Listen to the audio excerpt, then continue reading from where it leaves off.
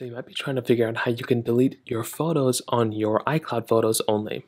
So if you make your way over to your Photos application of your iPhone, you might actually see that there's always going to be like a random photos mixed in with iCloud photos within here, and you might not know which photos are which. So the easiest way to go ahead and delete your photos that are only on iCloud is to go ahead and basically Google iCloud photos. And what we're going to go and basically do is get into our iCloud.com slash photos, you know, website.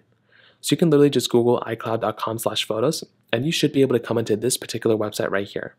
So when you do that, it'll just ask you to you know quickly log in. If you've already logged in, then it will already take you to this website. Now you can see right here, it's going to show me a bunch of different photos. Now these photos are the ones that are stored on iCloud. So photos and videos and everything like that, all of them that are available here are the ones that are available on iCloud. So if you want to, you can tap on a photo like this and you can see it come up just like this. Now, if you want to, let's say this photo is you, don't want anymore, or you want to delete it.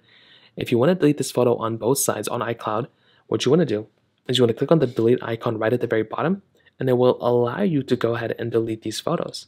So it's delete one item from all your devices. This item will be deleted from iCloud Photos on all of your devices. So if you want to, make sure you keep a backup of it. You can either re-download it here, take a screenshot of it, or just save it on your particular phone or send it to a different device. So when you're, when you're ready, you can click on delete you can go and delete that particular device. And that's really all you're going to have to do. You can just go and do this over and over and over again with all your particular photos that you no longer want.